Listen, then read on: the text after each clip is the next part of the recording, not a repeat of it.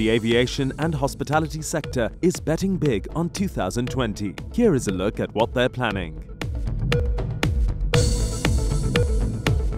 We wanted to encourage travel by families within India, primarily to heritage destinations and to important tourist destinations.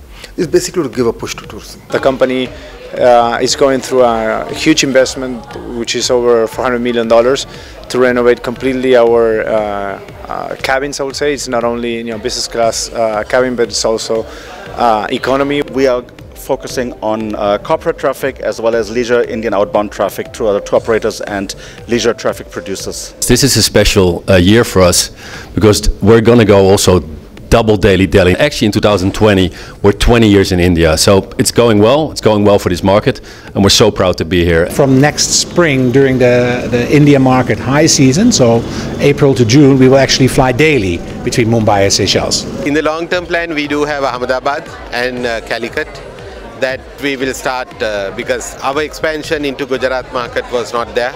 It is a huge potential in that market, so Ahmedabad is there.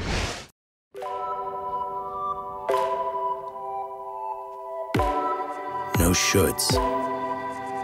No musts. No can'ts. No won'ts.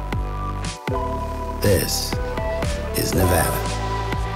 The weirdest, wildest west.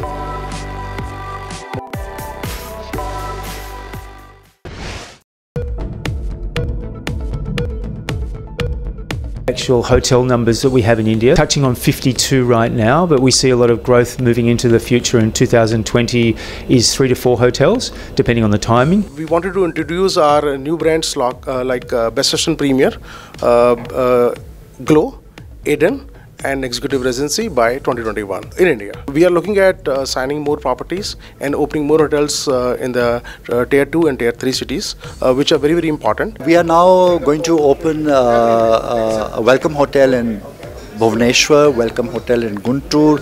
We are opening up a welcome hotel in Chel.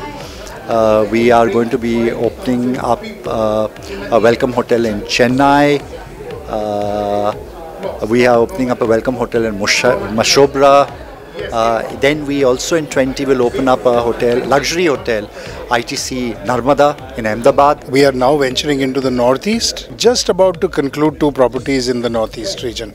And I think that will be a stepping stone to more places to come. In our upcoming properties, we are looking for the state of Goa, that is in pipeline, and maybe in Diu, in uh, Union Territory. So that is in our uh, pipeline roadmap for the future.